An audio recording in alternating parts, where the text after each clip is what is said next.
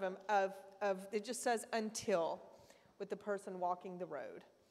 And as many of you know, I mean, even from the title of her book, The Watching the Road, of always keeping your eye out to see have they returned. Of even in the in the story of the prodigal son, whenever the father, it says he was standing outside looking a far way off, where he was still watching. He was still believing that he's going to come back. So it's that it's that picture of faith that they are going to come back. And if you're believing for a boy, we have a boy coming home. And if you're believing for your daughter, we have a daughter coming home. Amen. yes. One last thing I wanted to share. This is our very first time to have this little collection. Did you guys see the little collection of soaps and bath salts and candles?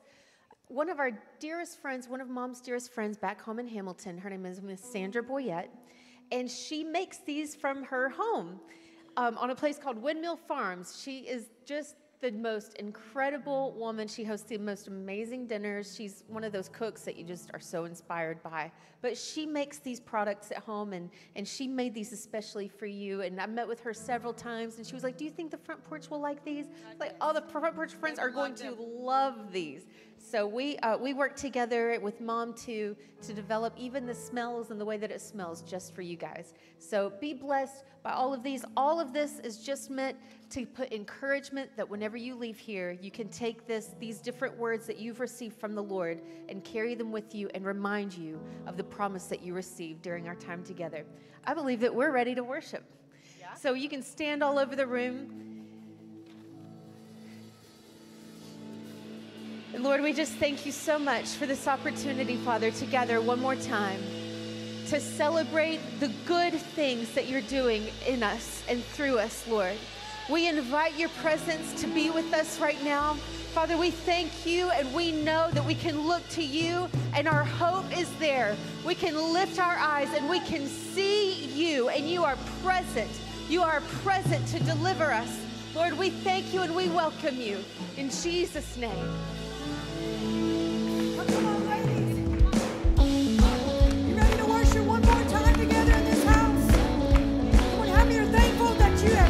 Into your freedom, but you know that God is in control.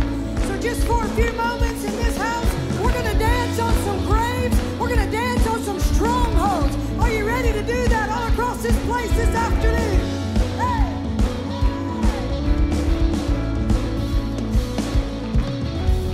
You throw a party in the presence of my enemies. And you invite me to the table and you tell me just to sit and feast not afraid of the terror screaming loud at me. Cause you have overcome and you're the God of victory. Yes, you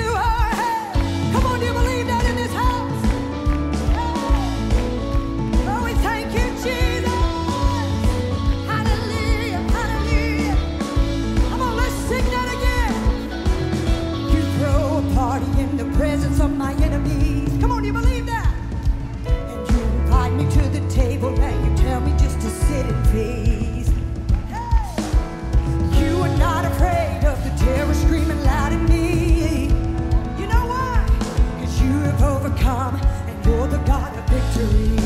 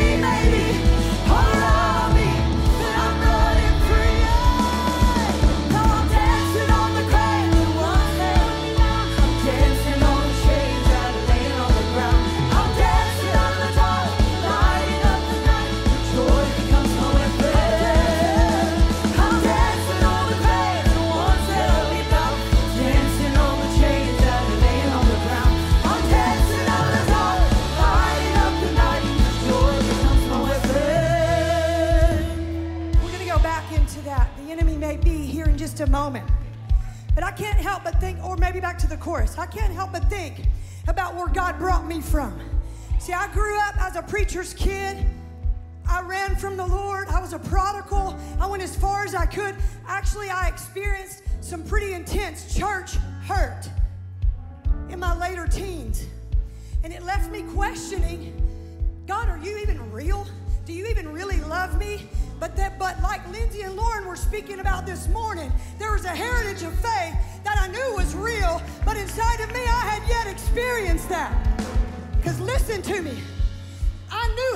church. I knew how to get on a platform. I knew how to say what I should say. I knew how to put on a face, but I did not know the creator of the universe. I did not know him as my father. I did not know him as the lover of my soul. And I found myself in addiction and I found myself in bondage, full of rage, full of hate, full of animosity, full of pain. But oh, the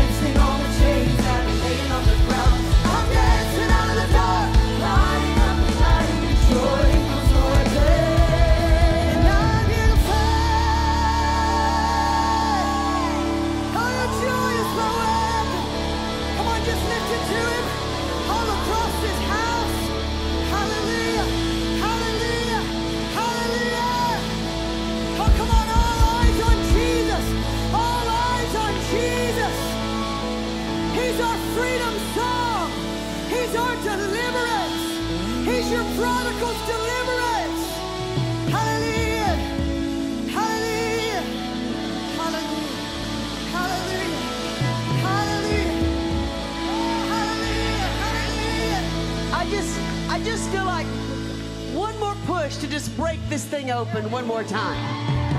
I know, I just, even since last night, I just keep seeing a Jericho march in here. And I know for, for you and I that may be a little challenging in a room like this, okay? But for these kids, they could do it for us. Amen. In proxy. I just, kids, I want, we're going to sing a little bit more of this. I want you to break something open in the atmosphere. Will you do that for these ladies, for their families? You know what to do. I just want you to march all around this auditorium at least one or two times. And we're going to sing this again. And let's go to just declare our victory this morning or this afternoon or whatever it is. Come on. On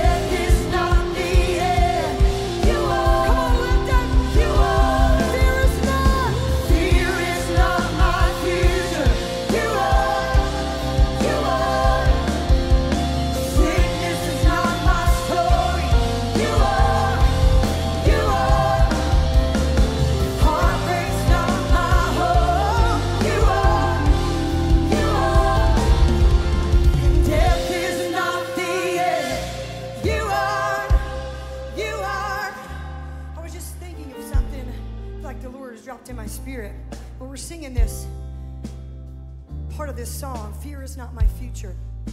Sickness is not my story. Heartbreak is not my home. I'm guilty of this just as much as anybody. But how many times have we just declared something over ourselves? We just immediately declared it before we even thought about it. Like we said, you know what? I'm afraid of that. You know what? I've been diagnosed with this. It's just what I've got to live with. I'm believing God's going to heal me, but this is what I'm having to live with. Well, but it's not your story. Not your story. Just like I said in the early service this morning, the facts may say one thing, but the truth is, He's your healer. The truth is that God has not given you a spirit of fear, but of power, love, and a sound mind. Fear is not an emotion, it is a spirit that comes in to attack your life and try to attach itself to you so that you live in a dark place full of fear. Fear is not an emotion that we feel, it is a spirit. That's what the Bible says. That's why it says God has not given you a spirit of fear, but of power, love, and of a sound mind. A mind that is whole, a mind that is clear, a mind that is that is focused on the things of God. So just for a few moments, we're going to go back into that and declare that. But can you lift your hands with me all across this house, if you will? God, I pray that every word that we have that we have spoken and that we have decreed at times, just in our flesh over ourselves, that you are breaking those that, off of your family, of your church, right now in the name of Jesus, off of every heart and every life. Fear is not going to control. Fear has to go in the name of Jesus. Sickness is not your story, and that heartbreak that you are experiencing is not where you live, and it is not where you are going to dwell. Because we know that over 2,000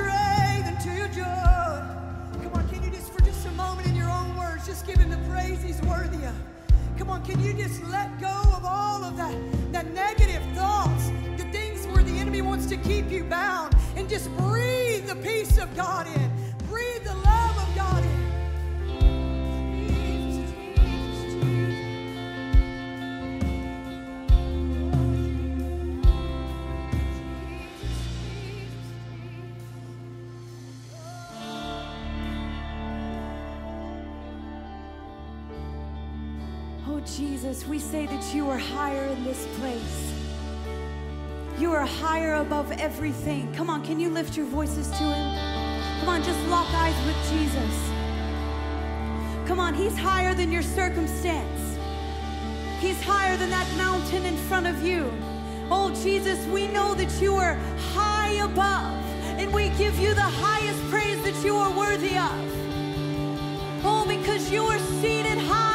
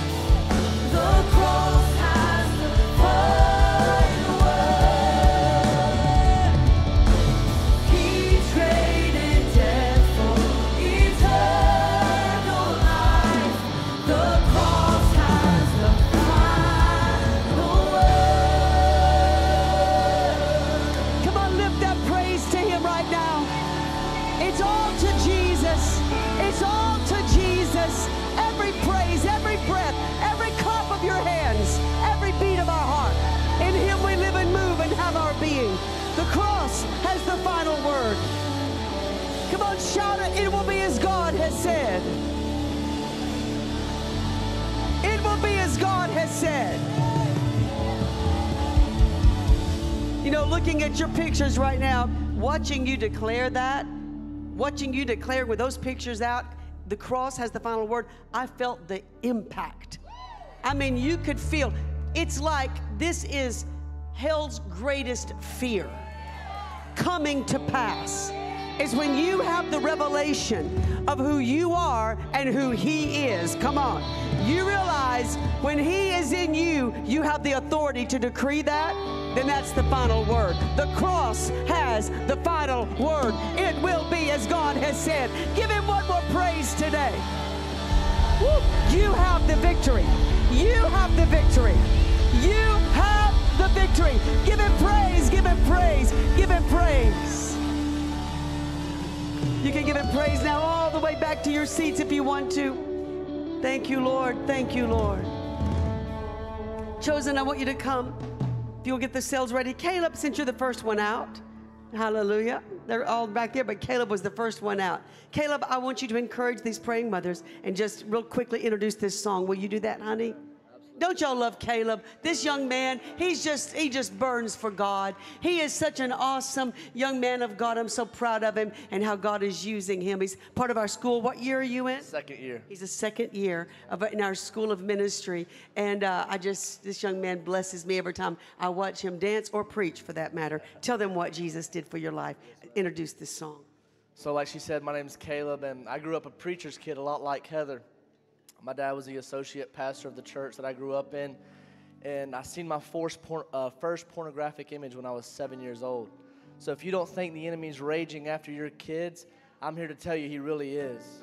And that's the truth of the matter. But here's the thing I had, I had a picture perfect world. My dad was a preacher, mom was a, on the worship team. And then when I was 14, brokenness hit my family, and my dad left.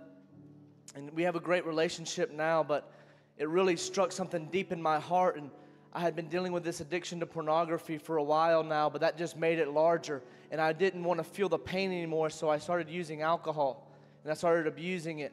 And I'm not, and I would go to these parties and I would live this lifestyle and I would give myself away to these women at 14 years old because I didn't think I was valuable enough. I didn't think I could actually be loved. And I really was so numb and wanted just to numb the pain of my life. But I could not run away from the calling because I had a praying mama.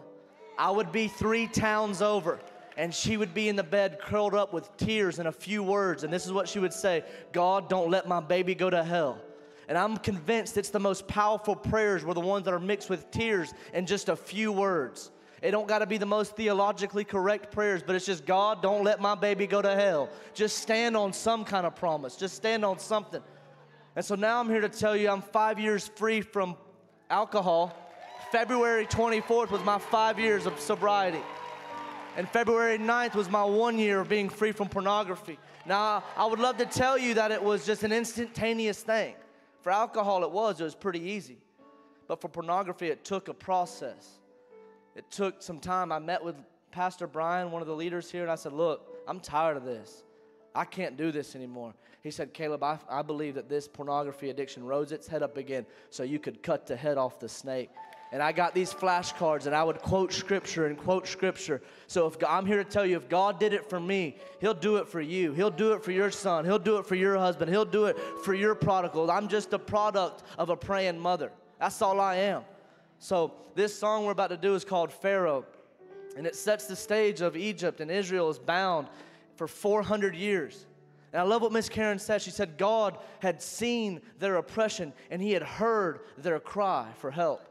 And I believe that God sees and He hears you tonight. And this afternoon, He sees and He hears you, and He will answer your prayer tonight. So I am not doing this for you. I'm right, right along with you saying, hey, we're saying to every prodigal, let them go in Jesus' name. Because I've got prodigals about my own. See, for me, it was pornography and alcohol that my mom was praying against. Now, I'll be honest with you, it's homosexuality and gender confusion that I'm wanting to see my prodigal delivered from. So I'm just one of you today. That's all I am. I'm 20 years old, but in the spirit, I'm right along with you, sitting in that chair saying, God, let my daddy go. God, let my daddy go. So when we do this dance, I want you to feel it. Not just that we're just not just dancing, but we are praying out to every single prodigal in America. God, let our prodigals go. God, if you can deliver Israel out of 400 years of bondage, God, you can deliver our prodigals wherever they are right now.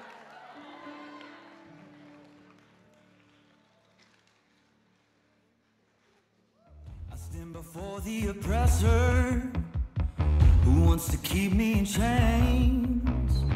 I'll say my God is a God of freedom. Don't underestimate his strength. I hear that boast of the tyrant, seeing my back's to a wall. He drew a sword thinking it was over. Guess he don't know my God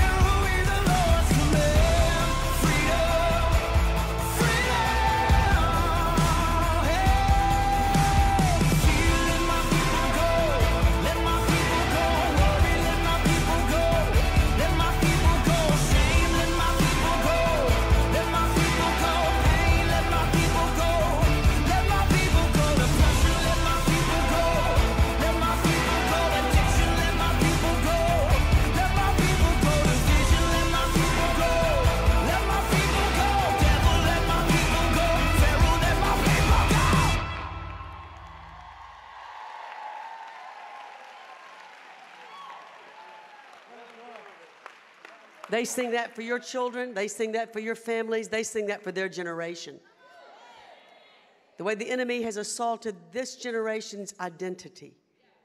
It's unbelievable to rob who God has made them be and who God says they are. Because even the enemy knows your identity is connected to your authority.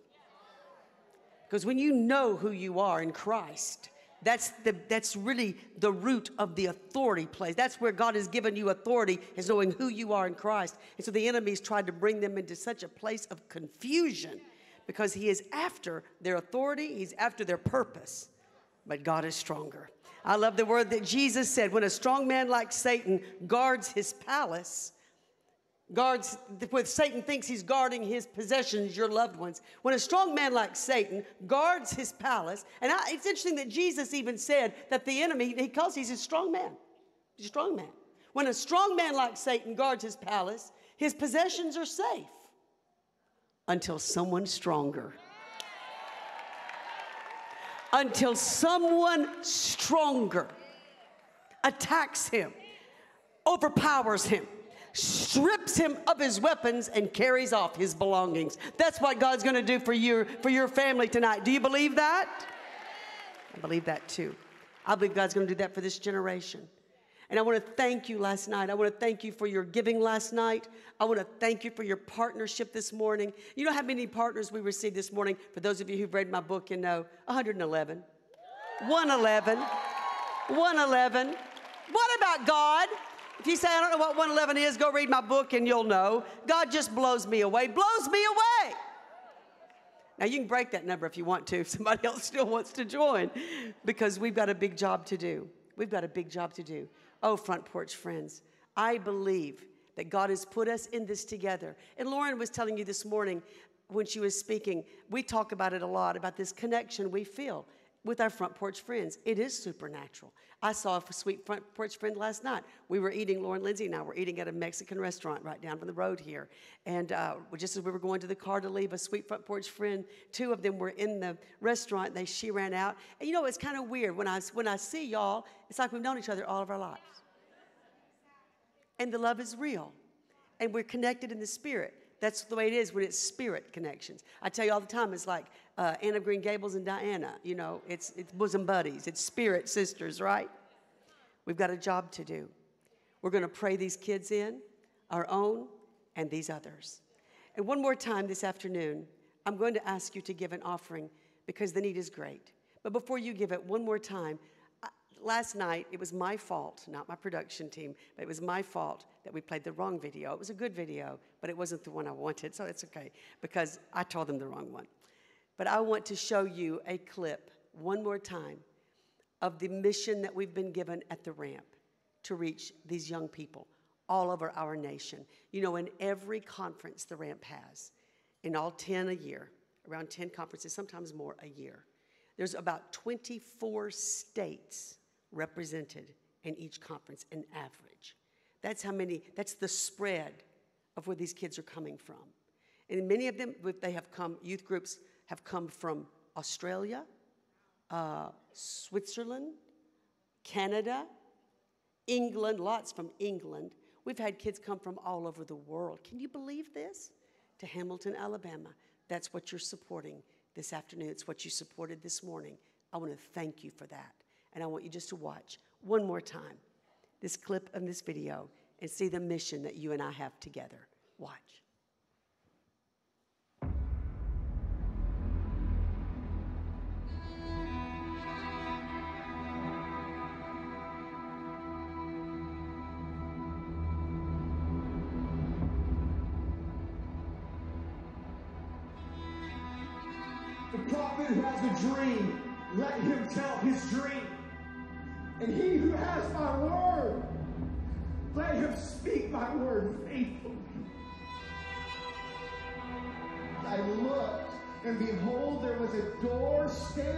Open in heaven. There's a door standing open in heaven. And he said, I heard a voice, and it sounded like a trumpet, like an urgent call, crying out to me, saying, Come up here.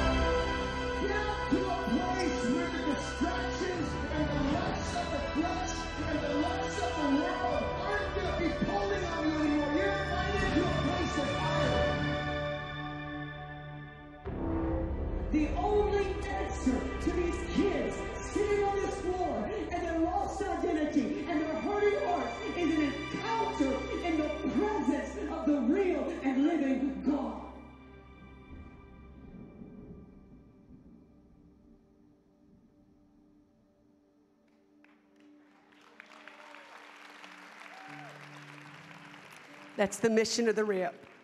And that's what you and I are called to do. And it is the only hope for this generation. There is no plan B.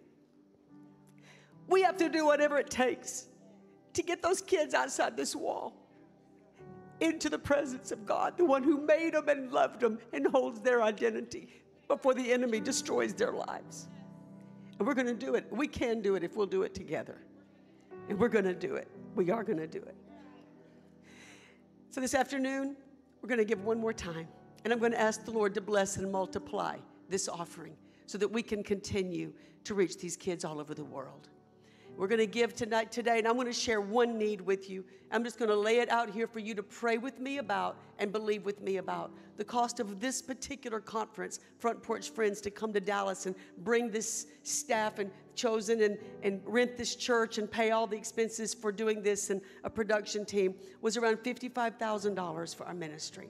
And I want to ask you today to give in faith with me. Will you believe that miraculously that need will be fully met before we fly out tonight to go back home or drive? Love, we're leaving in the morning, most of us leaving in the morning. Would you, will you believe with me for the need to be 100% met? And I'm asking you to give to the ramp to reach kids, but that is going to help us also cover the cost of having this conference so that we can raise up intercessors to pray and front porch friends to join us in our mission. So that's when, I, and, and maybe today you're this, here this afternoon and you say, The Lord has blessed me enough in my life. I could even cover the cost of this conference. And if that's you, I just want to ask you to, to do what the Holy Spirit lays on your heart. And thank you from the bottom of our heart. We're, we're trusting Him to meet the need. Amen. Let's pray. Jesus, we love being able to look at you and your sacrifice and being able to say, Of course, whatever you ask, yes.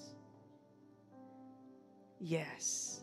When we see what you have done because you loved the world, anything you ask of us is no sacrifice. This is our life, and we're giving it freely. Father, I pray that you will bless these men and women in this room who have said yes to loving a generation and loving kids even besides their own. Pray that you will bless them back. Today, as many of them are sowing in faith and sacrificially. And I'm asking you to bless this offering and multiply it like you did loaves and fish to meet the need of a hungry multitude of people today. In Jesus' name, amen. Amen. Those of you that want to give online, the information will be on the screen. If you need an envelope for cash or credit card giving, once again, raise your hand. We'll bring you an envelope right now if you need an envelope for cash or credit card giving. And thank you so much. Thank you so much. And those of you watching online, thank you for your giving. There's a place right now where you can go to give and be a part of this, of this moment. Those of you that are front porch friends that are watching today in your home, I want you to know the promise God gave me is your promise too. And the ones that, the promise He gave these ladies. What you invest in the lives of other young people, you will reap it in your children. Because what you sow is what you reap. We've got faith with you to believe that God is going to do that for you. So thank you for your giving. No matter what the gift is, large or small, God's going to bless you for that. And we thank you for it. In Jesus' name, amen, amen, amen. Amen. Thank you, Lord. Anyone else need an envelope? for cash or credit card giving. All right? Any, any other? I don't want to miss anybody. All right. All right. Give you just a few moments to fill out your envelopes or write a check. If you're making a check, make it payable to the ramp. To the ramp. And of course, the information is there to give online. How many of you will believe with me? We're going to come back with a report. I'm just going to come back with a great report that if I can get in touch with y'all, I may have to tell you on the porch. I can tell you Wednesday night. I'm, I'm believing by Wednesday night, I'm going to be able to look at y'all and say, hey, it was fully met for the Front Porch Friends Conference. Will you believe with me for that, ladies? In Jesus' name, that I'm going to have a good report. Amen? We agree together. We agree together. Amen. All right. If you're re- are you ready to give? Everybody ready? All right. I see just a few more people writing. I don't want to pass the bucket until they're able to finish what they are writing. I'll tell you what, as they're doing that and finishing that, why don't we go ahead and. Uh, no, I don't want to do that. We're just going to take a minute. They've got they've got a dance they want to do, and it's so good. I don't want any distractions. It's too good. Where are you here from? Oklahoma. From O- a lot of Oklahoma is here for this weekend. How many of you are from Oklahoma? What in the world? Are you serious? My goodness. I'm so surprised. How many of you are from Texas? Yeah, that's what I figured. That's what I figured. Are y'all glad that we came to Texas? Are you glad? You know, this is the first time we've done this. And I kept telling my staff, this is an experiment. We're going to see how this goes. Because, like I just said, it's very expensive to, to move. What? Oh, oh, you're so sweet. Thank you. Well, we're going to believe the Lord for that in Jesus' name. And I kept telling them, this is an experiment. We're going to try it because we've had the conferences always either in Hamilton or Cleveland, Tennessee. But I always felt like there was a whole bunch of y'all that wasn't able to come. So I just felt like, go west, young man. Go west, young man. So we came west. And I'm glad we did. I'm glad we did. All right, go ahead and receive that offering, if you will, and you pass those buckets. Any state that I missed? Missouri. Where's Missouri? All right. There's some Colorado. What, sweetheart? Arizona. Where's Arizona? There's a few. All right. What, baby? Kansas. Nebraska. They are here from all over the place. What? What? Hang on, let me get this right here. From Kenya. She flew in from Kenya. I think she's going to beat all of us. Come on, Kenya. I don't think anybody can top that trip. Let's make this front porch friend welcome today, all the way from Kenya. Are you serious? What is your name? My name is Alma. And you're a front porch friend Sorry? in Kenya? Yeah. yes. A front porch I came in for this conference specifically from Kenya. Oh, y'all, let's just give her one more welcome. Thank you, sweetheart. Thank you for coming. Thank you for coming. Beautiful, beautiful. I have a word I want to share with you this afternoon. Before I do that, I want Chosen to, uh, they're going to, to, do one more thing for you today. And these two songs are very, very special to me. Let's go ahead and bring uh, Taya and, the two, and, and Alexis and Avery out. Where are they? Are they receiving the offerings? Are you ready? Girls, run to the platform, if you will, please. Have, you- have you been blessed by Chosen? Have you been blessed by those kids? Amen. I love this song. It's such a song of hope and assurance that when you get home, and I want you to know this from me, well, from the Lord. I want you to know this. Even if you get home and it looks like things even just get worse instead of better. Now, I'm believing for some of y'all, when you get home, it, you're going to have a miracle waiting on you when you get home, all right? And it's never going to be the same again. Breakthrough in Jesus' name. For some of you, you get home, it may get worse instead of better. But I can tell you something. Well, all that means is that God is at work. That's what that means. If it, sometimes I used to get a word from God and I'd be like, oh, so excited, then it'd get worse. But that's just when the word is being tested. That sometimes when conviction is working in them so much, they don't even hardly know what to do with it. Come on, that means nothing. That when it gets worse instead of better, you just give God praise that you know He's at work and that's what's going on. You just praise Him anyway. Because no matter what happens, ladies, I can assure you by the word of the Lord, you're going to be okay.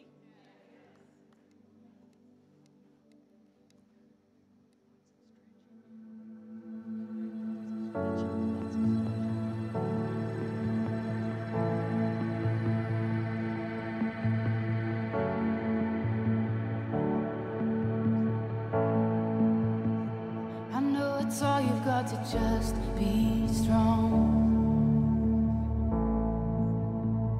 And it's a fight just to keep it together, together.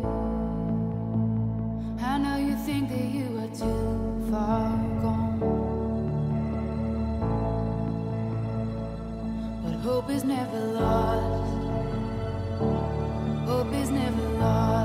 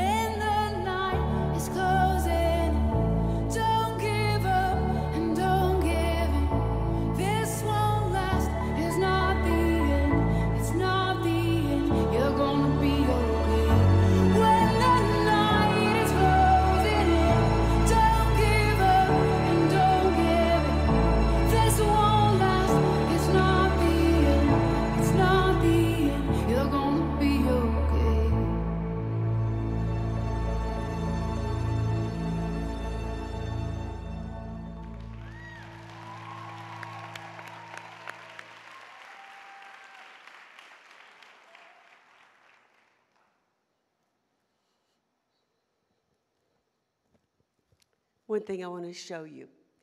I want you to know what happens that you can't see when you pray. Now, there's much that happens when you're praying. And sometimes, even when it seems like prayers are the hardest and the driest, when you just pray anyway, it's when heaven notices, you know? And if we do what the old folks called in my church, you pray through. What does that mean? Sometimes you just pray and you don't feel nothing. But I was taught as a little girl in the church God of Prophecy where I was raised, you just keep praying. And like Sister Tennyson said, you keep praying until you touch heaven, and then you keep praying till heaven touches you. That's what praying through is. But whenever you are, whenever you get home and you're all by yourself, you get up to, to, to I like to pray in the mornings. Have many, many of you early morning prayers, yes? And I like to pray in the morning too. Y'all know me, I love to pray walking on the old dirt road or somewhere out in those woods. But whenever you're praying, you're not out there by yourself, even though you may think you are. You know, you've got angels that hang around you all the time because you fear God. And I was thinking the other day when I was sitting in my, my one of my rooms where I just like to pray, and I was sitting there thinking, you know, I don't think angels can read my mind. Now God knows my thoughts. I'm not sure angels. I don't think angels know my thoughts. So angels are listening to what I say. So I got to kind of feeling sorry for my angels, just thinking, oh, you know what? I don't want them just to be bored in my, my quiet time here, because a lot of times I pray, you know, I'm just talking to the Lord in many ways. Sometimes, even in my thoughts, I'm speaking to God. So I got to thinking, oh, for my angel's sake, I'm just going to praise Him out loud for their sake so they can praise Him with me. So I just went to praising out loud, out loud. Oh, Jesus, I love you. Father, I give you glory and praise. And I knew that when I was doing that, they were just falling on their face, worshiping God with me. Because when you're never having church by yourself, the thing is, is when you pray, can somebody give me the cue for this so I'll just know? But when you pray, you can know this about those angels in the room. I love this scripture. And it says this in Psalms 103, verse 20 Praise the Lord, you angels. Watch this. You mighty ones who carry out his plans, listening for each of his commands. Did you get that? Praise the Lord, you angels. When you're in your prayer time with God, you need to tell those angels that. Praise the Lord, you angels. You mighty ones, oh, they're mighty. There's some mighty angels. They're not wimpy like little fat cherubs that just look like they don't can't do anything, can't move, but sit on a shelf and look cute. No, these these angels, these angelic beings that worship God, they are powerful. Come on, you know that? Praise the Lord, you angels, you mighty ones who carry out his plans. Watch this, listening for each of his commands. Yes, praise the Lord, you armies of angels who serve him and do his will. What does that mean? When it says they are listening for each of his commands, angels only move by the word of God. I don't think I don't I don't ever tell my angels, you know, oh go do something for me. They're not that's not that's not their purpose. But honey, when I'm praying and I begin to quote the word of God and I'm praying according to the will of God, I'm declaring his word, they are listening for his command. That's what angels do. They listen for the command of the Father coming out of your mouth. And when your mouth is declaring his command, they move. You're not in this together your prayer time looks a lot different than what you think it does.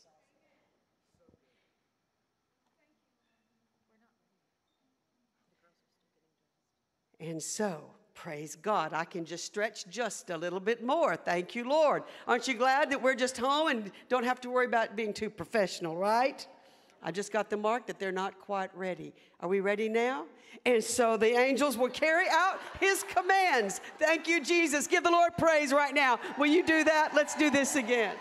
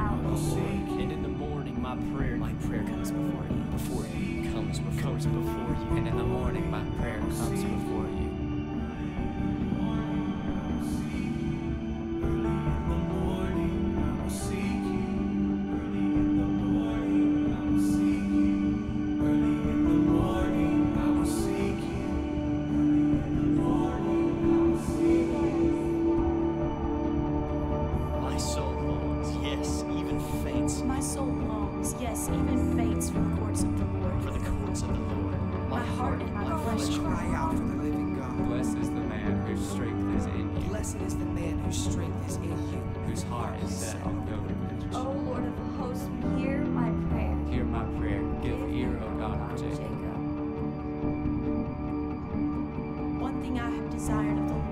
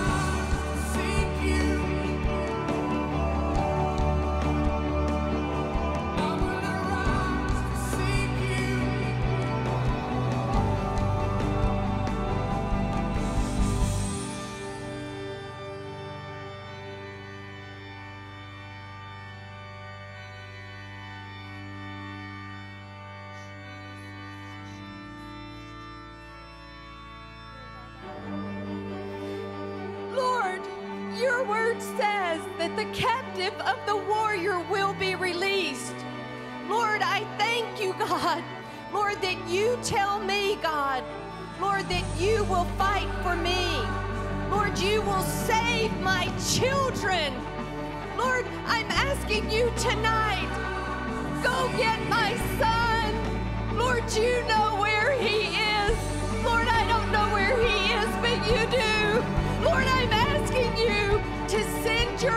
angels to go get him now. Oh God, oh God, I cry out and I ask you to send your spirit to save my daughter. Lord, draw her, draw her to repentance, Lord. God, tonight, Lord, I need you. I need you, Lord. Oh God, Lord, I ask you, Father, that you would minister to my husband.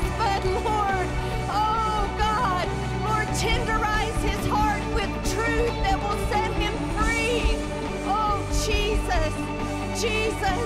I declare it will be as God has said. Lord, even now, even now, you can do a miracle. Jesus, I worship you and I praise you for victory. Hallelujah. Hallelujah. Hallelujah. Hallelujah. Thank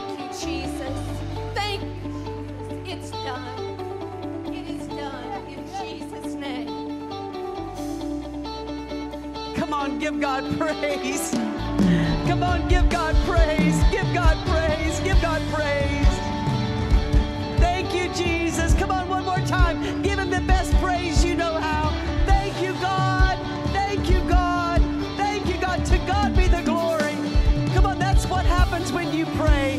Thank you, Jesus. Thank you, God. I appreciate that. Thank you, guys. Now, does that make you think a little bit differently about that room or your prayer room? It looks a lot different than what you think it does. And you need to remember to quote the word and to quote it out loud because those, those, the Spirit of God is released at the power of His word out of your mouth. It doesn't work when you whine.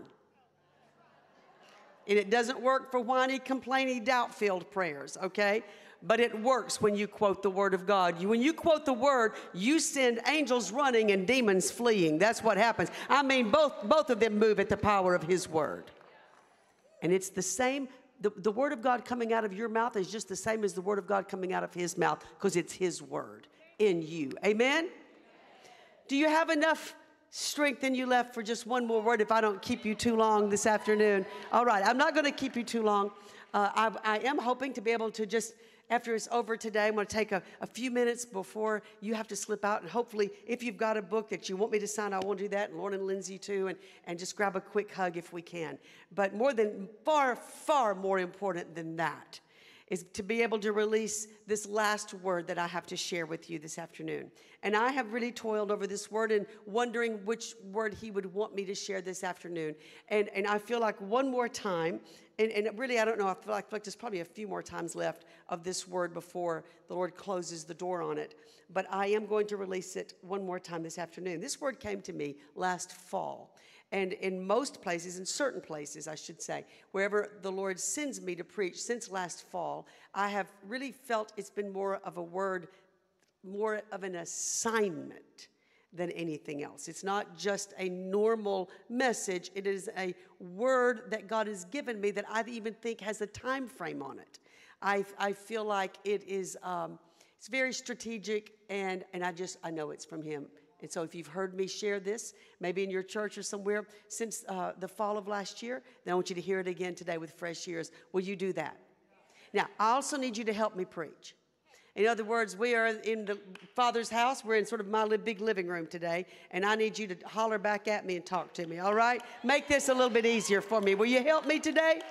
All right. And front porch at home watching online, you can comment and holler on comment, okay? Back us and say, preach it or something like that. All right. Okay, let's go. Father, I, I acknowledge today my need for you always to deliver your word. I pray, Holy Spirit, that you will speak through me today with what you want to say. And I pray all of us, including me, we will have ears to hear what you are saying and hearts that quickly respond with yes in Jesus' name. And we all say, you know these are troubled times. I don't have to tell you that. Lauren mentioned that this morning. I loved what she shared today about how to, to be unshakable in a sh- world that is shaking. And you and I uh, are living in times un- unlike anything any of us have ever seen. It was already kind of accelerating, but something happened when we hit 2020. And it's not been the same since. We kind of thought maybe that would last a little while and go back to normal. I'm not sure we're ever going back to normal. It seems to be heading towards something. Are y'all listening? Something is happening. And we cannot be, be so ignorant as just to think that we're just going to sit back and pretend like it's not real. There's an acceleration of something going on in the spirit realm, which reminds me of the word in Revelation, the 12th chapter, the 12th verse, that says that in the last days, or in the, the end of time, Satan comes down with great wrath because he knows his time is short. That's a fascinating scripture to me. That even Satan knows, catch that, that his time is short. He knows the future for him, he knows his time is short. Well, if he's going to come down with great wrath because he knows his time is short, dear Lord, church, how much more shouldn't we, as the people of God, work and pray because we know our time is short? Are y'all hearing me? We're too prone to live according to this tangible world around us and be moved by the circumstances. When, when, really we seem to forget that in reality, this war that we're seeing taking place in our, even in our nation right now, it is really not a political war, even though it certainly looks like one. It is not a political war. It is really not even a cultural war. This is a spiritual war. People do not understand that. They don't know that. They don't know how to recognize that. But you and I, as men and women of God, should be able to know this is a spiritual war between light and darkness, between deception and truth, and between the church and the devil. I didn't say between God and the devil because who's going to come against God? This war is not between God and the devil. There was war in heaven. And the Bible says that when there was war in heaven, there was war between the angels, and then God took care of it real quick when he expelled Lucifer out of his kingdom. And, and Jesus said, I think this is so fascinating. Jesus said, I saw Satan fall like lightning out of heaven. Thought about that even this morning, getting ready. What a statement that is. Have you ever seen lightning just flash? It's not like it lingers a long time. It's not like it just lights up and stays for a while. It's like, there's lightning, right? That's how God took care of Lucifer. Gone. And a third of the angels with him. Our God's powerful. Come on. I said. Our God is a mighty God. Unfortunately, he landed on a dot called Earth. And now this war has been raging ever since man in a garden gave the deceiver his keys to authority that God had given him.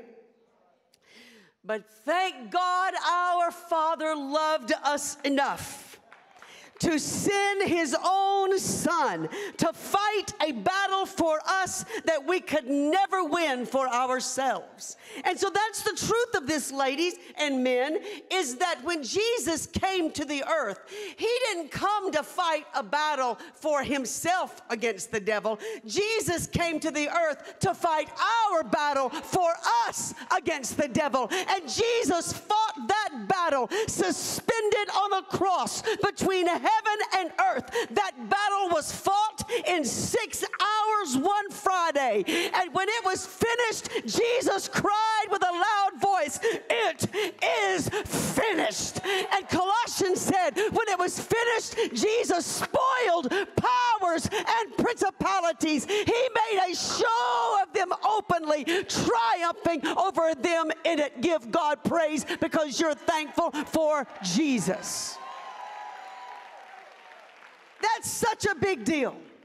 That's why we cannot afford today, as men and women of God, to stay hunkered down in front of television sets, watching Fox News just gripped in fear about what's going to happen next. We look too much like the children of Israel did, hiding behind the battle lines while Goliath was shouting his profanity and his mockery and his intimidating threats.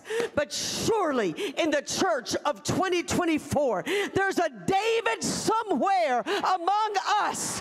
Come on who can rise up and say, Who is this uncircumcised Philistine that he would defy the armies of the living God?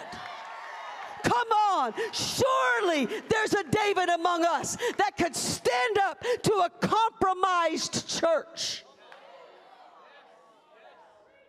While they are mocking his boldness and look at a compromised church today and say, Is there not a cause? Come on, surely there's a David somewhere, even in the front porch friends, that could stand up to their family that makes fun of them for still praying after all these years. Come on, surely there's a David in you that can stand up to even church people who tell you you need to move on. Come on, and you need to be able to look at them and say, Surely is there not a cause? I'm telling you, there is a cause. What is our cause today? Our cause is we have an enemy that's trying to destroy our children and our grandchildren. Trying to, to destroy the youth of this generation, stealing their identity, their gender, and their purpose. Our nation is in a crisis. Israel is at war. We have a cause. Today I am here in Dallas, like the prophet Samuel was, looking for David, looking for a young man or woman for that matter, looking for a David, come on, with a slingshot in his hand and a heart burning for God and a worship on his lips that can look at that giant and say, Come on, you come at me with a sword and a spear, but I come at you in the name of the Lord God of Israel. I'm going to knock you down and kill you. I'm going to cut off your head and feed your body to the beast of the field and the birds of the air, and everybody's going to know there's a God in Israel. Give God praise if you believe that.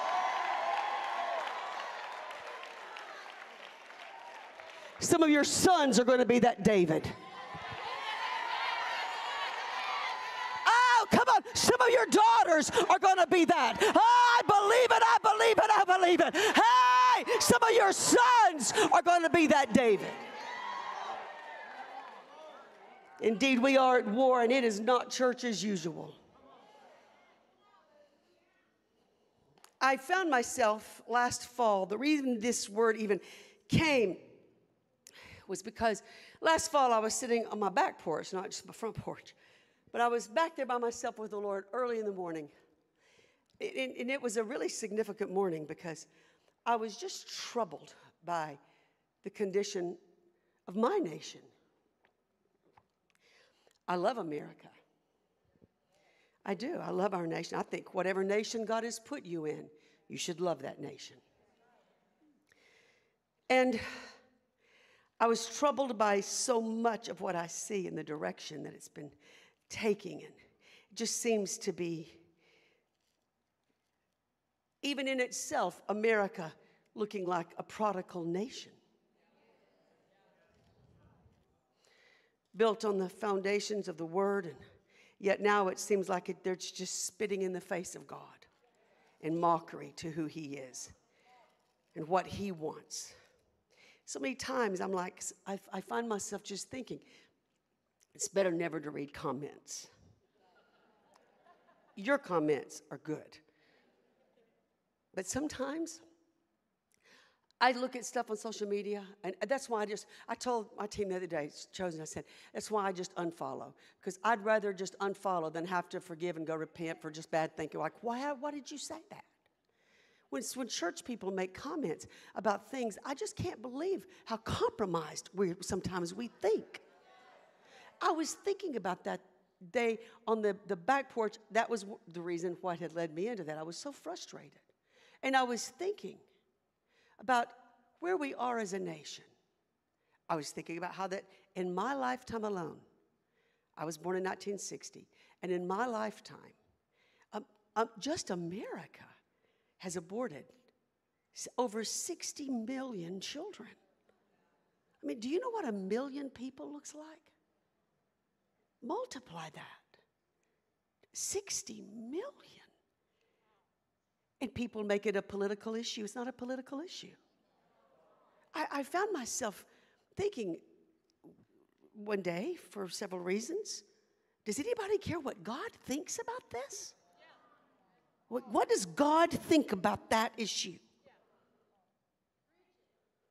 Psalms 139 before you were in the womb, before I placed you there. Go read it for yourself. It's all in the word. Psalms 139, Jeremiah 1. Before you were in the womb, Ephesians first chapter, I knew you. I loved you.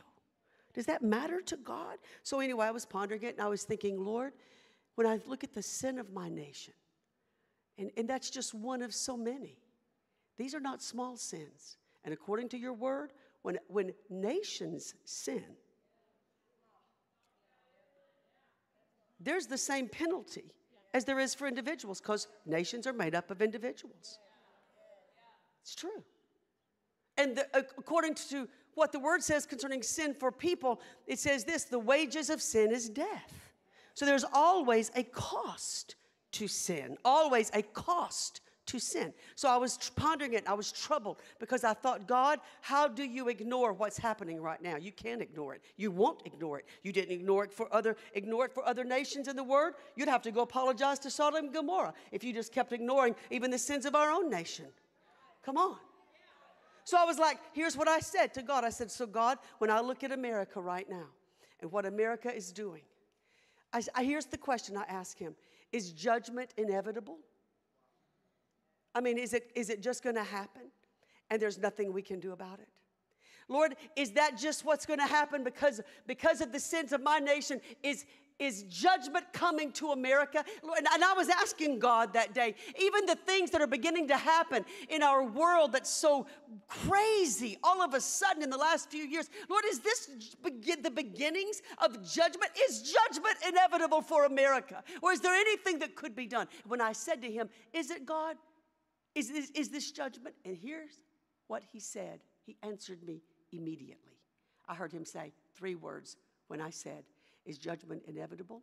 He said, Who knows? Perhaps.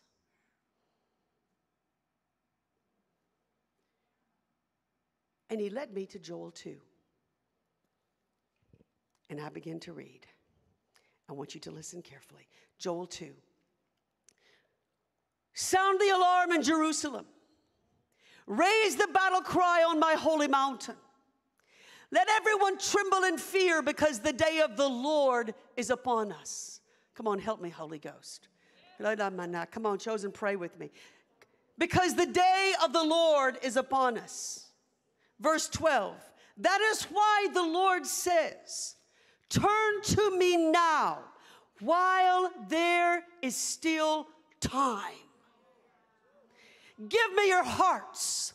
Come with fasting, weeping, and mourning. Don't tear your clothing in your grief, tear your hearts instead.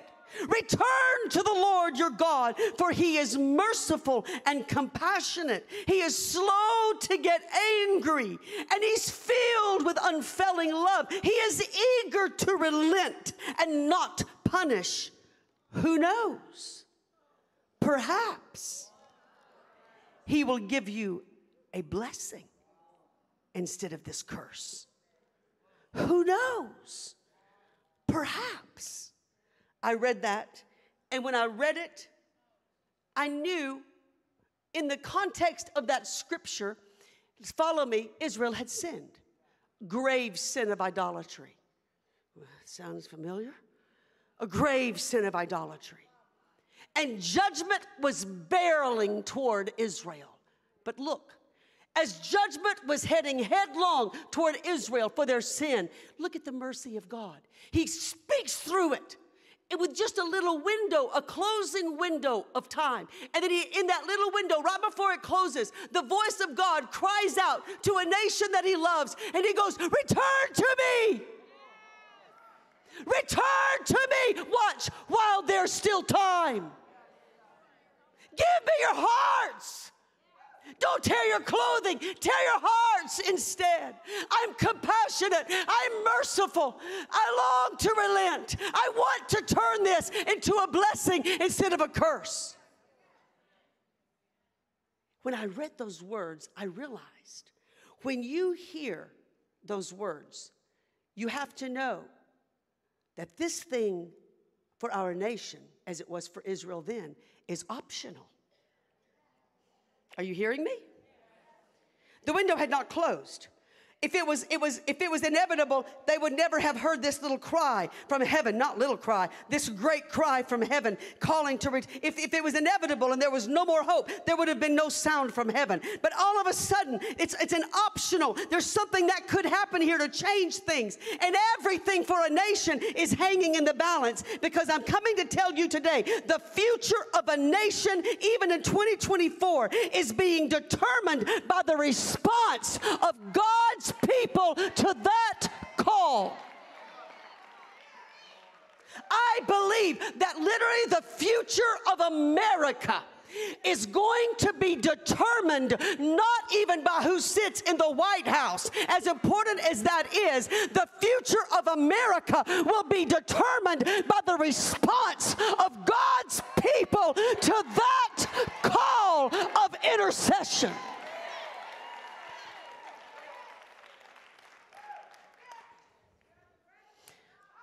So in 2024, while the world right now is looking around, lost in the darkness, while the world is looking around to see what's going to happen, I believe even heaven right now is looking down to see what's going to happen.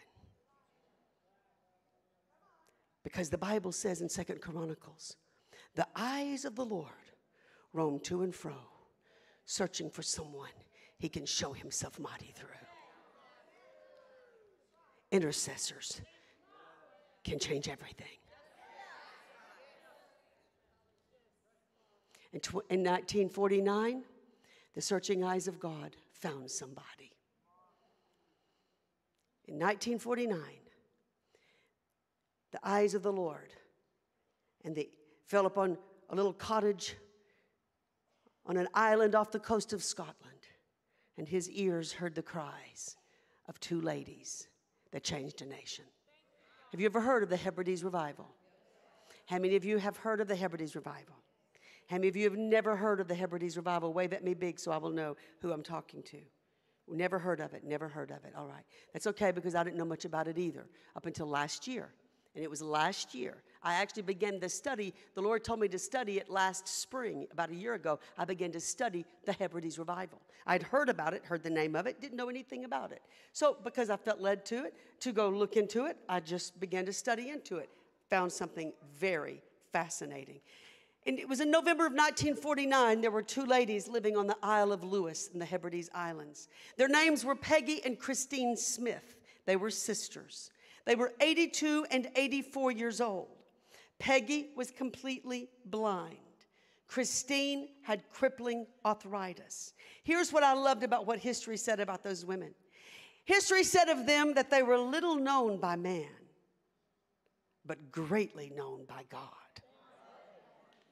Don't you want that said about you?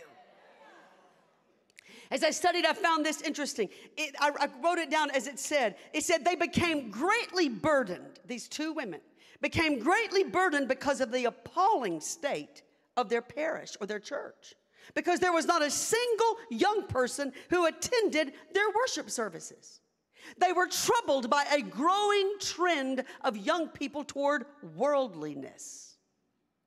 It became clear that an outpouring of God's Spirit in revival was the only hope to supernaturally reverse the situation. That's what it said about those women. They began to realize when they saw the need of their, their young people in their city that the only hope for them was going to be an outpouring of God's Spirit. So Peggy and Christine did this. They took a Bible verse, Isaiah 44 3. And those two women began to pray one verse. Isaiah 44 3 I will pour water on him that is thirsty and floods upon the dry ground. They just began to pray it and pray it and pray it. And that is when something began to change. Do you know why it began to change? Because they prayed the word. Don't we talk about this on the porch all the time? Because when you pray the word of God, you pray the will of God. And when you pray the will of God, you can have whatever you ask. Because that's what First John 5:14 says. Come on, front porch. That if this is our confidence. Say it with me. This is our confidence. That if we ask anything according to his will, he hears us. And if we know he hears us, we know we have whatever we ask. Somebody needs to give God praise. That's huge. Peggy and Christine were praying Isaiah 44 3. It's the will of God to pour water on them that's thirsty and floods on the dry ground. They were going to get what they asked for. I just find it interesting that that verse had been laying on their shelf in a book, just like it is in our houses right now. This book will just lay on our shelves right there, completely dormant. It won't do nothing until somebody gets the book off the shelf, gets it into their heart, speaks it out of their mouth. And when you release the word, Word of God, that's when things begin to shift. Peggy and Christine decided to do something. They got them a plan by, led by the Spirit of God. They decided they were going to pray two nights a week together. Two nights a week, Tuesday nights and Friday nights. History says they decided they were going to pray from 10 p.m. to 3 or 4 a.m. every Tuesday night and every Friday night. Might I need to remind you, they were 82 and 84 blind and crippled. Come with me here, ladies. Come on. 82, 84 blind and crippled. And they were going to pray from 10 p.m. to 3 or 4 a.m. They weren't making it easy on themselves. I mean, they could have said, we're going to pray from 1 in the afternoon to 1.30. No, but when you see a need that's overwhelming, you're going to do whatever it takes. Come on. They decided to pray two nights a week. One night as they were praying, history says that Peggy had a vision, the blind one. She had a vision, and here's how they wrote it. They said, She saw the church of her fathers crowded with young people, packed to the doors, and a strange minister standing in the pulpit. She was so stirred by the vision, she sent for her pastor and she told him the story of her vision. And the pastor took her message as a word from God. They said her pastor looked at her and looked at Peggy and he said, What should we do? What? Peggy looked at the pastor and she said this Give yourself to prayer. Give yourself to waiting upon God. Get your elders and your deacons together and spend at least two nights a week waiting upon God in prayer. She said, My sister and I will pray in the cottage. You pray in the barn. She asked the pastor if he would take the same time frame that she and her sister were doing. So the pastor and his elders, seven of them all together, took the same course of Tuesday night, Friday night, 10 p.m. to 3 to 4 a.m. in the barn while Peggy and Christine were in the house. When I read this, I realized by the Spirit of God that the Lord had given Peggy a strategy from heaven for changing a nation. And this is what it was, as simple as it is. Here's the strategy we'll pray here, you pray there. Come on. No, you got to get that. We'll pray here, you pray there. And I came today to Dallas to my front porch friends to say in Colorado and in Missouri and in Nebraska and in Texas and in Oklahoma, we'll be in Hamilton, Alabama. We'll pray here, you pray there. Come on. Come on, will you take me up on it today? I said, Will you take me up? Will you agree with me right now for the saving of a nation? We'll pray here, you pray there. Give God praise if you say yes.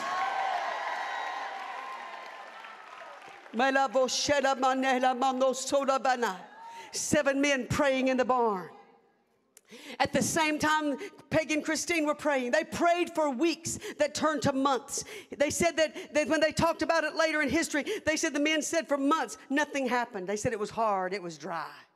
But they prayed on, which is the key. Come on, even if it's hard and if it's dry and you don't feel nothing, pray on. Come on, mother, I'm telling you, when you don't feel it and you're exhausted and you can't hardly move another bone, come on, even when it's hard, pray on, pray on, pray on. Those men pray. They didn't know how long it was going to take, but they said one night, one of the young elders was praying with them in the barn. One young man, and they said suddenly that young man stopped and he said these words. They said, The young man said, It seems to me to be so much humbug I love that. Scottish. Look at this. It seems to me to be so much humbug, to be waiting as we are waiting, praying as we are praying, when uh, we ourselves are not rightly related to God. They said when he said that, he begins to quote Psalms 24 Who will ascend the hill of the Lord? Who will stand in his holy place? He that has clean hands and a pure heart no idols, no deceit.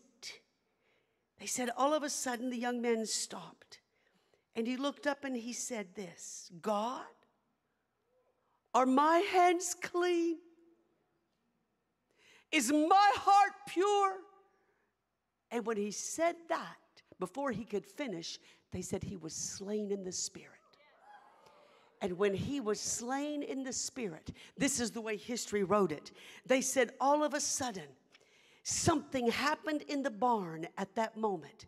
They said there was a power loosed that shook the heavens. The bowls of intercession had finally tipped over.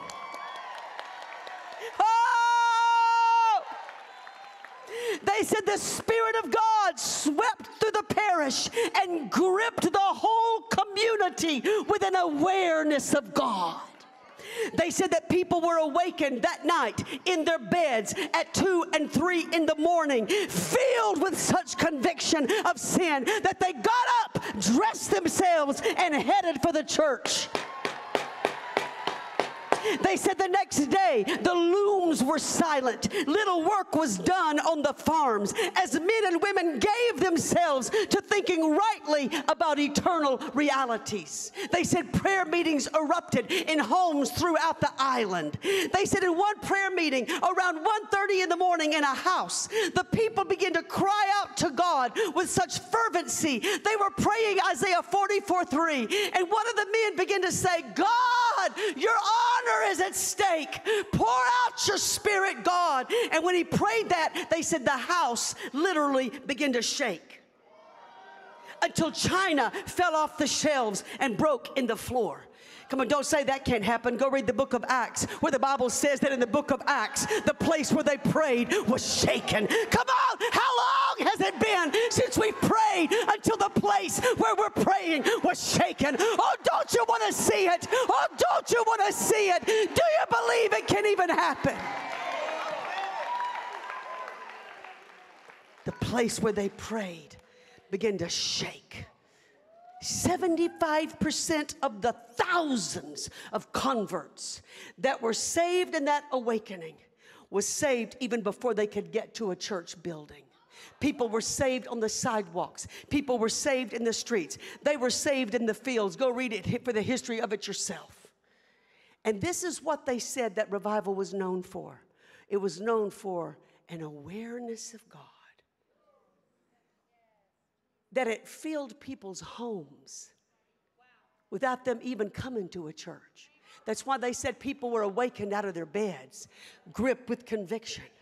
People at work, come on, with nobody even over there preaching, were just filled with an, an awareness of God. Whoa. Come on, can you believe with me that in Washington, D.C., God could so grip our nation and so grip our capital that people lying in their beds tonight, come on, congressmen, senators, come on, people from the White House could be so gripped, wakened in their beds, gripped in conviction, filled with an awareness of God. Come on, do you believe that can happen? I believe it can happen when people pray. That would have never happened, I don't believe, unless two women saw a need and was willing to do something about it. Put up their picture, will you do that? Here's the picture of Peggy and Christine. That's who they are. That's a real picture of them. The man in the middle was Duncan Campbell, who is the man they eventually found to lead that revival. He was the man she said she saw in her vision. I tell you what, I look at that and I say, no more excuses, Karen. Now, why does this matter to us today? Front porch friends, why do Christine and Peggy matter to us? Why does that story matter to us in 2024? Because now it's our nation that's in trouble. Today it's our children now, it's our youth that's in trouble. And it has become abundantly clear to me that an outpouring of God's Spirit in revival is the only hope for America. And tonight, this afternoon, we, front porch friends, have a decision to make. And that decision is this What are we going to do with Joel 2?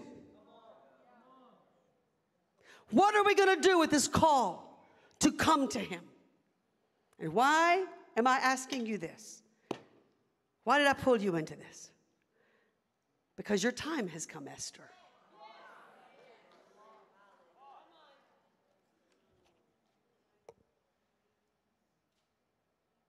Esther was caught up in a situation she didn't understand, she didn't ask for. She found herself taken away from her family, placed into a place that was completely foreign to her. Interestingly enough, it was a place that was probably fairly comfortable. And without her knowledge of what was happening, there was an enemy in that palace to Esther and to her people named Haman. Haman, a, a man that had determined to destroy the Jews and to kill them. Sounds familiar. Haman, Hamas. I don't know why it's kind of like Haman, Hitler, Hamas. Same spirit, no matter what it is, it's the same spirit. It's the spirit of the devil.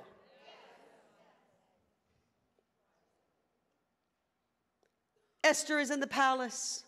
And the Bible says in Esther 4 that one day, after Mordecai, her relative, had learned all about what had been done by Haman, his plan, Mordecai tore his clothes, put on burlap and ashes, and went out into the street, watch, crying with a loud and bitter wail. He went as far as the gate of the palace because no one was allowed to enter past there wearing clothes of mourning. When Queen Esther's maids and eunuchs came and told her about Mordecai, she was deeply distressed. Watch this sentence. And she sent clothing to him to replace the burlap, but he refused it. That statement is huge, Jacob. That she sent some clothes for Mordecai to change into. Esther didn't know what was going on. She just saw him wailing and weeping and wearing burlap because intercessors are sometimes they, they're confusing to people. What, what's wrong with you? What are you doing? And Esther's looking at her relative like, what's, what's wrong with you, Mordecai? So she sends him something more appropriate, something that looks a little bit better to change clothes. Take off those burlap clothes, Mordecai. Put on some, here's some Babylonian garments I've got in the palace. Put, put something else on. And I love the word. And he refused it. And he sent word back. Well, it says, she sent the clothes to him, he refused it. Then Esther sent one of her, the eunuchs who had been appointed, she ordered him to go and find out from Mordecai what was troubling him and why he was in mourning. So Mordecai told him the whole story. And then Mordecai sends this message back to Esther after he tells the, the eunuch what to tell Esther that this man is planning to destroy your people. And listen to what Mordecai says to Esther. Please listen now.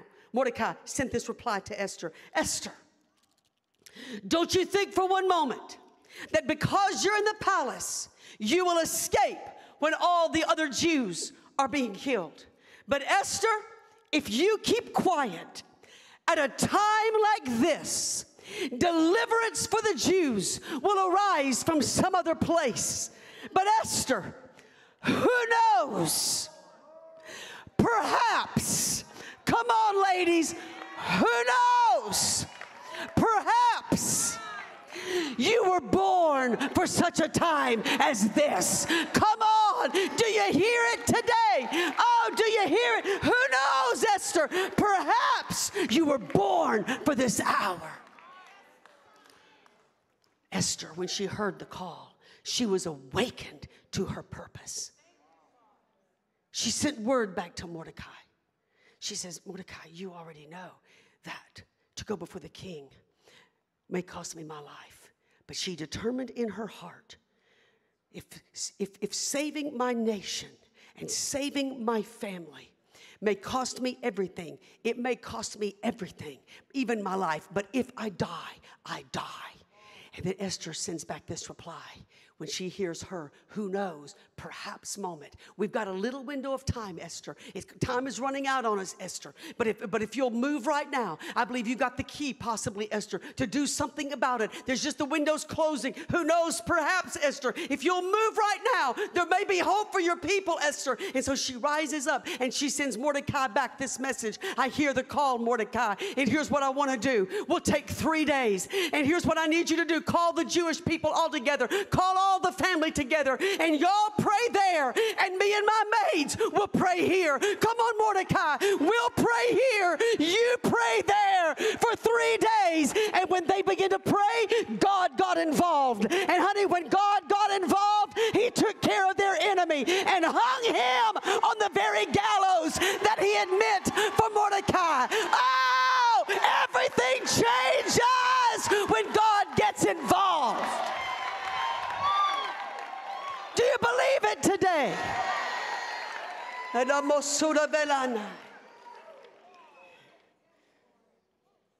Esther. I'm closing, but listen. Esther, Christine, Peggy, remind me of the women in Jeremiah 31. We've talked about them on the porch before on the porch. Listen, he says this Jeremiah 31 This is what the Lord says A cry is heard in Ramah, deep anguish and bitter weeping. Rachel weeping for her children, look, refusing to be comforted. Did that sound familiar, Mordecai? I refuse to change my clothes into something comfortable. Come on, intercessors are people who refuse to be talked out of their passion. They refuse to be talked out of their faith. Come on, I refused. Don't even try to comfort me out of my purpose. Come on, I refuse to be comforted. And then listen what happens. After the cry was heard, which is important to note that the cry was heard first. After the cry was heard, then came the part, thus says the Lord. The cry comes first. That's why intercessors matter. You ask, then you receive. You seek, then you find. You knock first, then the door is open. If you will, I will. You do your part, I'll do my part. If my people, which are called by my name, will humble themselves and pray, then I will hear from heaven and I will heal their land. You do your part, then I'll do my part. Thus says the Lord, do not weep any longer, for I will reward you. Your children will come back from the distant land of the enemy. There is hope in your future, says the Lord. Your children will come again to their own border. Anybody want that one? Come on, anybody want that one right there? You better take that promise right now. A cry is heard from women that refuse to be comforted. That's what Peggy and Christine did too. Because praying those hours was not comfortable. And they could have said, Well, I'm old now, I'm going to just sit here in my cottage wait till Jesus comes. Not when there's kids going to hell. I can, I, they, Peggy and Christine determined I may can't get out and preach and travel the world and evangelize, but I can sit in this cottage and I can set myself to prayer. And they prayed in a move of God that transformed thousands of people's lives. That's what God's calling you to do this weekend. Last thing I want to do today, I want to show you what that looks like. I want to show you what that looks like. I forgot to look around, but I'll look around right now. Thank you, Jesus. Is Rick Stout in the room? Huh? Nope. Okay. Praise God. Hang on. I'm going to find somebody to help me. Thank you, Lord. We're doing okay. Oh, I see a man right there in a, in a red shirt. I need you to help me, sir, with a big, beautiful beard right there. Thank you. It's hard to see back there. I can't hardly see. Lauren, come here, baby. Just stand right over here. Just stand right over there. Just right there for a second. I'm going to call you in just a second. Lauren, come here. I want Lauren to represent the one that you're believing for, that we've prayed for all weekend. All right? I want her to represent a son or a daughter or a grandchild or a husband or a wife or whoever it is you're believing for. And like Peggy and Christine this weekend, God brought you here. Take a good look at their situation. And you have done that. And you know, just like them, and this is what I love about you. I don't have to talk you into realizing it. You're here because you've already made up your mind. You're not going to settle for the way things look now. I love that about you.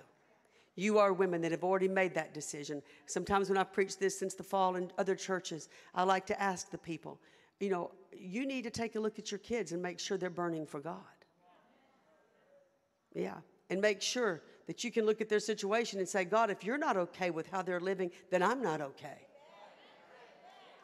And you just really, ta- that's what Peggy and Christine did. They looked at the landscape of their nation and they said, This is not okay. That's what you've done today. But what happens is, it, it's, it's what we've talked about this morning uh, and over since last night and on the porch all the time with Lindsay. I had to make up my mind. That was one of the turning points of my journey with Lindsay, was when she first left. And people that were concerned were just telling me, now, Karen, you don't need to let this destroy you too. She'll come back someday when she's old, because you raise up a child the way they should go when they're old, they won't depart from it. But, but someday, Karen, she'll come back, but you can't let this destroy you. Karen, you're going to have to just let her go. Let her go.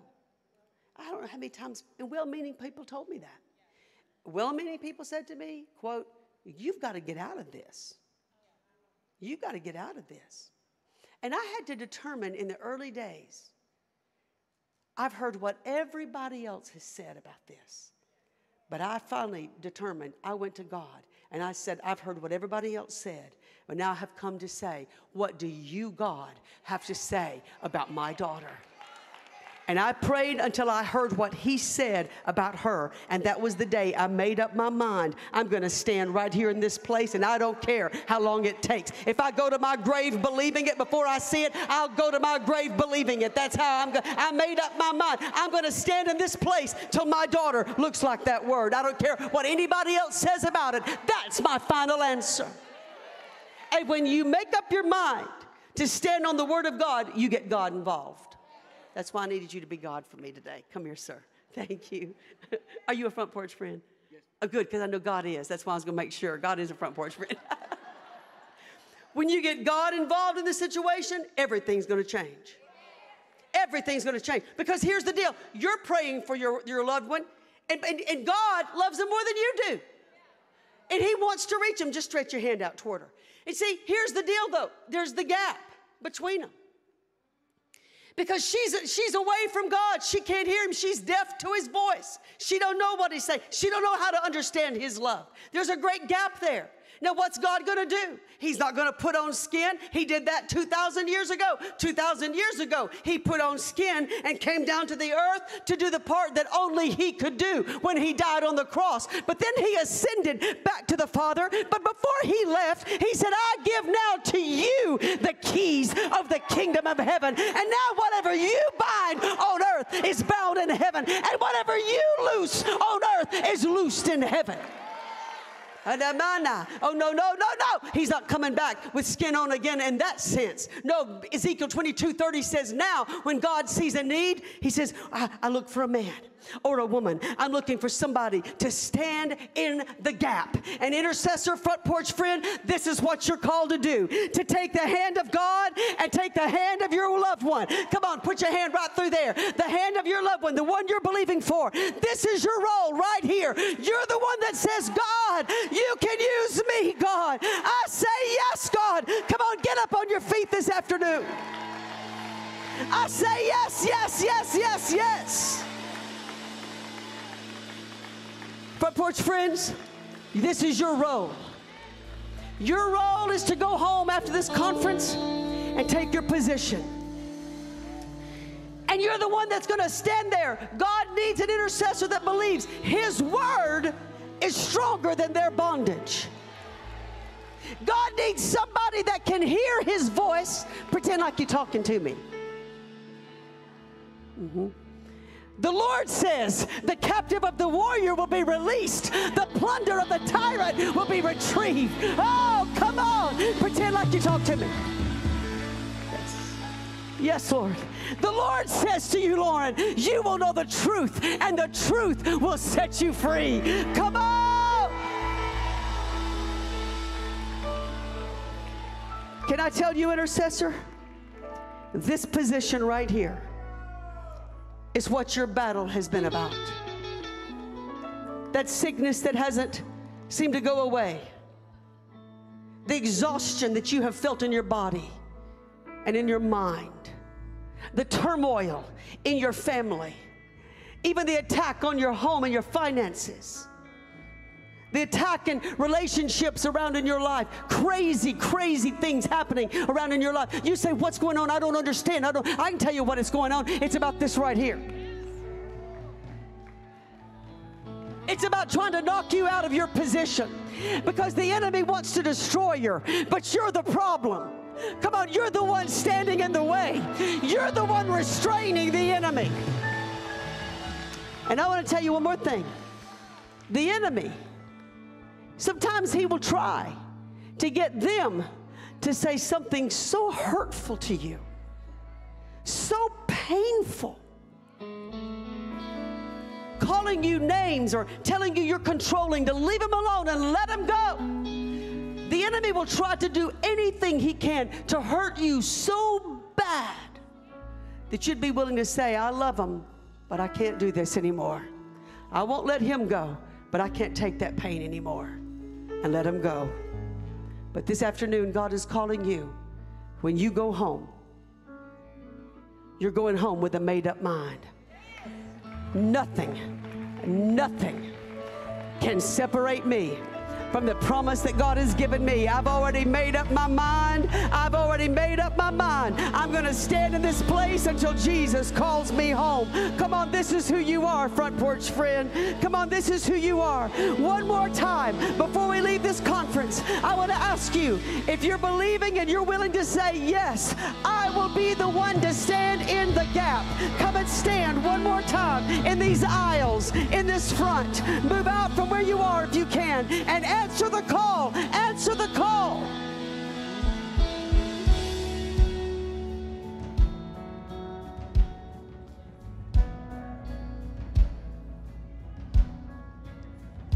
It doesn't matter if you can't get all the way to the front. All the Lord wants to see you do is just move somehow. Just move somehow. Even if you just got to move a little bit, just make a move that says, My answer is yes. My answer is yes.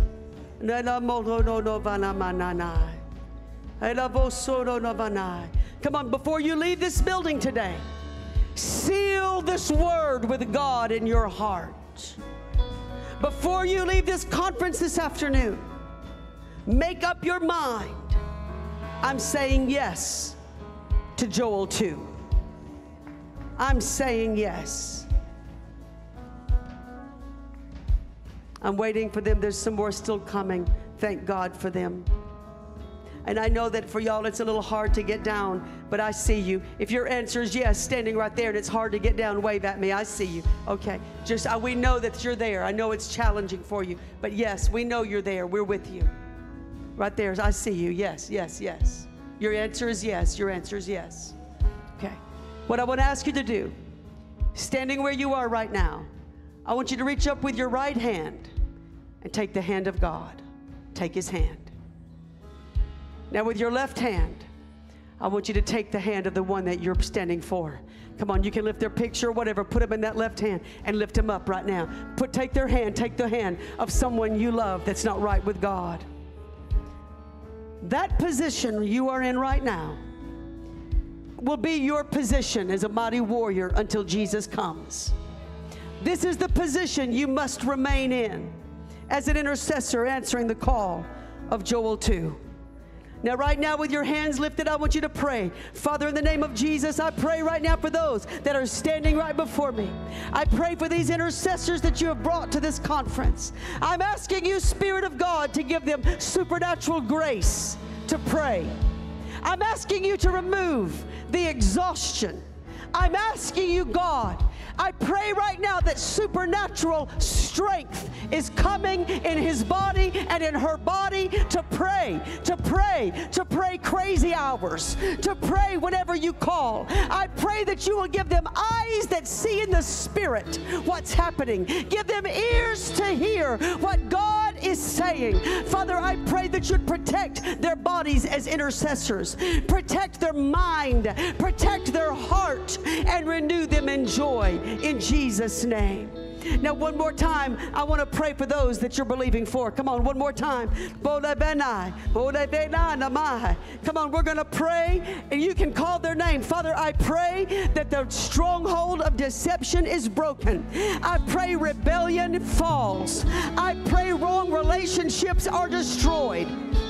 I pray right now scales fall from their eyes. I pray pornography addiction looses her, looses him, and lets him go. I pray right now homosexuality and perversion that is robbing who God has called them to be looses them and lets them go. Confusion is broken, fear is broken, identity restored in the name of Jesus. In the name of Jesus. Right now, on the want you to call their name and say it one more time.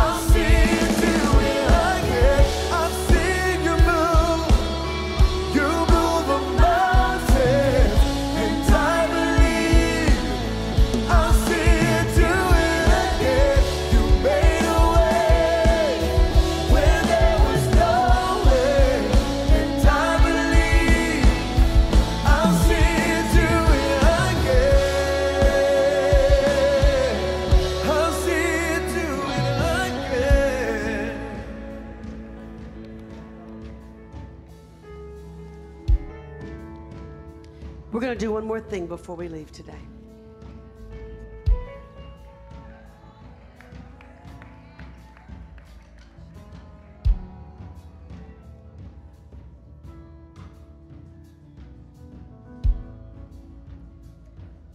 We're going to pray over a prodigal nation.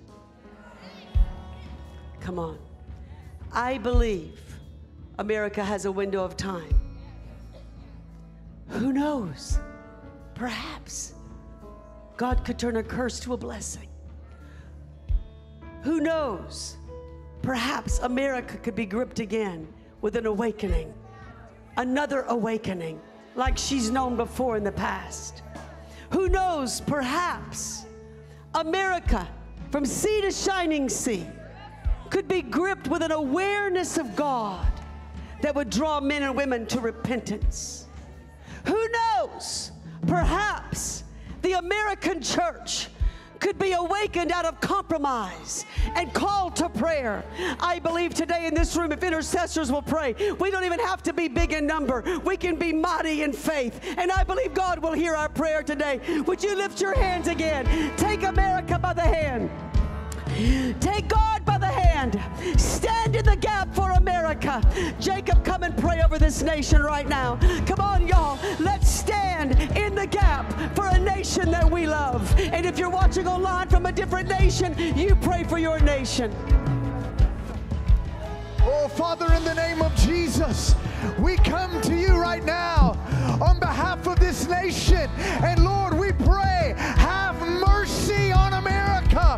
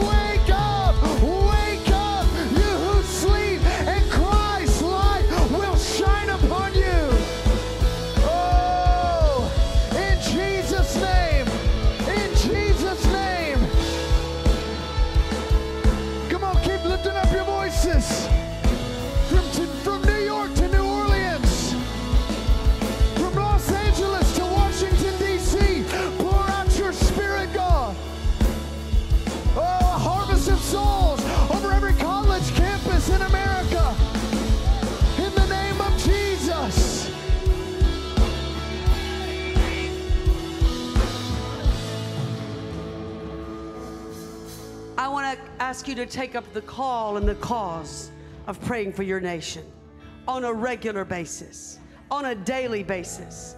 I'm going to be making some calls for special times of prayer. During this year, this is an important year for our nation. What are we praying? God, your will be done in America. That's what we're going to pray. And on the front porch, we don't take on political issues. We're taking on the kingdom issues. We're going to take on the kingdom of God. And we're going to pray, God, let your will be done in America. And you know, I, I want to ask you to join me. I will be get on the porch. I will be announcing special times that between now and even the end of this year, we're going to meet on the porch. We'll pray here and you pray there.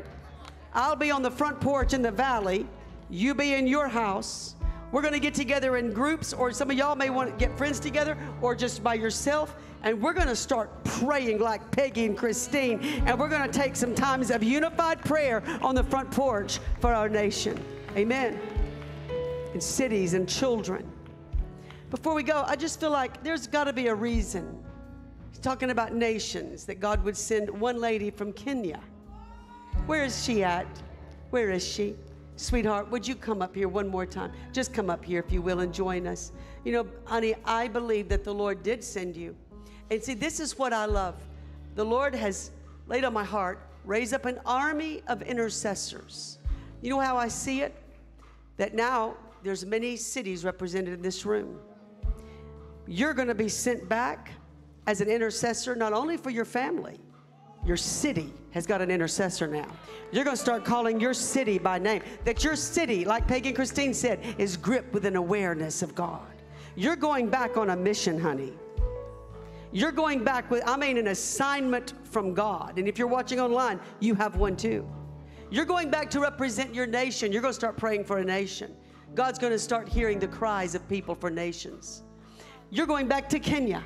And God doesn't even have to have a whole lot. If He's got one intercessor in, in a nation, He found a man named Abraham, come on, that was willing to stand up for a city.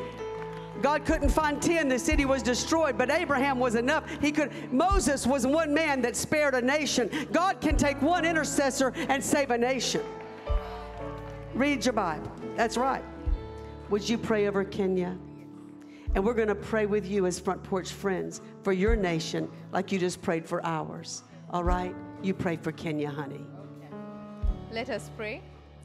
Dear Heavenly Father, we thank you for this opportunity to be able to stand in the gap as intercessors for our nations in the mighty name of Jesus Christ. Jehovah God, I come before you and commit Kenya into your hands, my Father. That, Lord, you have not sent me all this way in vain, Jehovah God. Thank you for your word that will bear fruit in Kenya in the mighty name of Jesus Christ. That, Lord, as I stand here as a contact point between this nation and Kenya and other nations, Jehovah God, that, Lord, you shall do a great work in that nation in the name of Jesus. That that which you created Kenya for shall come to pass in the mighty name of Jesus Christ.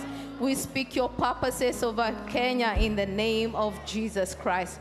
That, Father, Lord, as you send me back, that Lord Kenya shall not be the same nation in the name of Jesus Christ. Starting from the president, our president, Ruto, Jehovah God, and his wife, who is an intercessor, Jehovah Father. May I be the contact point, my Lord, that you have said we stretch out to you, O God.